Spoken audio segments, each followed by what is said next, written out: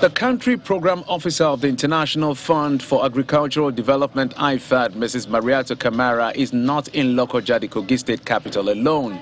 She's in company of a delegation that consists of representatives from the Federal Ministry of Agriculture, Federal Ministry of Budget and National Planning, and the National Program Coordinator of the Value Chain Development Program. Chief Dr. First, the team pay a courtesy visit to the governor at the government house before proceeding to one of the rice processing centers at the Kpata market in Lokoja. They also visit Akpamuba community to interface with the beneficiaries of the program who shared their concerns and challenges. This is a training center because it's a, a demonstration plot. All the operations being carried out from cultivation, Careful, you're, you're spoiling the fruit. from cultivation, uh, spraying of chemicals to control weed, the planting, the spacing, farmers, not restricted to our members alone.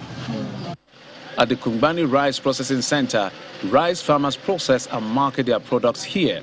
The interface continues while the beneficiaries are handed motorcycles to load their produce. After we do the parboiling and we do everything, we now pay for the milling. For the milling. Yes. And then you that's when you take to to To market. After the milling, we now. We now So how much do you pay for milling?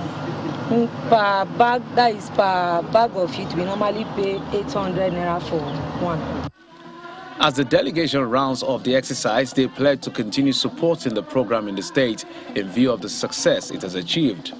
The development objective of uh, VCDP is to ensure that um, women or the women or youth are fully able to acquire income from what they are doing. So for me, I really want to see the benefits of the program. We need to compare what their lives were before and what their lives is now. We, know, we need to know the impact of the program on the lives of the beneficiaries.